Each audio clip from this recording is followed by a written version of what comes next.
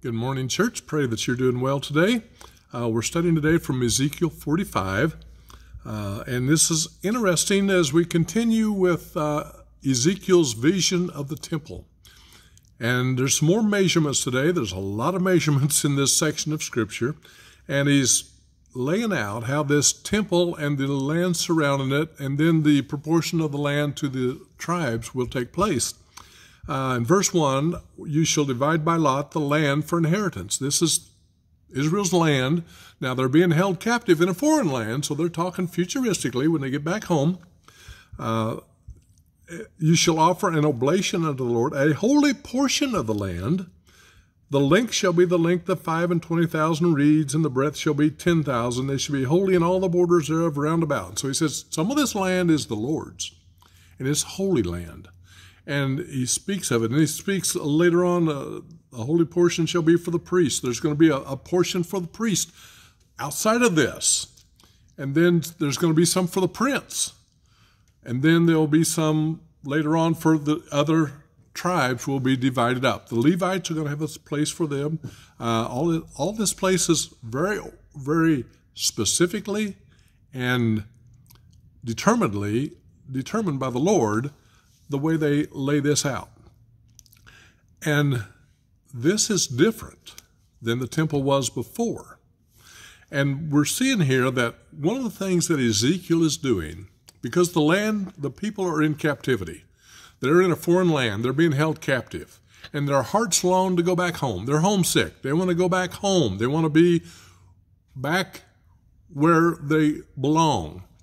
And back to the temple, and they know the temple's been destroyed, so they want to rebuild the temple. They want to they want to get back the glory days. They want to go back to the way it was.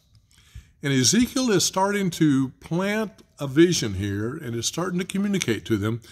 He's starting to help them or to encourage them to transition from Jerusalem, a literal physical place, to a spiritual place a place where God dwells. They're wanting to go back home. They want to go back to Israel. They want to go back to Jerusalem. They want to build the temple. They want to go back to how it used to be. And he's encouraging them to think more in terms of spiritual. The temple is where God is going to be. It may look different than it did. And, and, and, and it will be different than it was. But it's where God's going to dwell.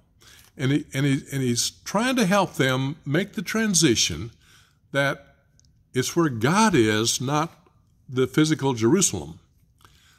And we see that the people failed because when Jesus came and said, The kingdom of God is near you, is come to you, they didn't recognize it. They were looking at Jerusalem, let's, let's get reestablished as a nation physically, politically. Jesus was talking about the spiritual kingdom. And here we see Ezekiel starting that process. He's trying to help the people understand that the new temple is God and it's God's presence.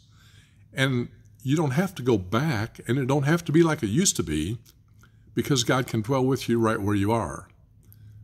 What about us today? How many times have we said, man, I'd be glad when all this COVID stuff's over and we can go back to where it used to be?